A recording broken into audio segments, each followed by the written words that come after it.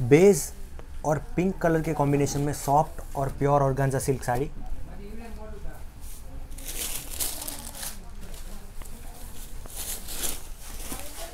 यह है कॉन्ट्रास्ट पल्लू। पूरी बॉडी पे वुवन डिज़ाइन रहेगी। मटेरियल रिच है सिल्की शाइनी मटेरियल है। यहाँ पे आप देख सकते हो fine finish contrast golden zari border है।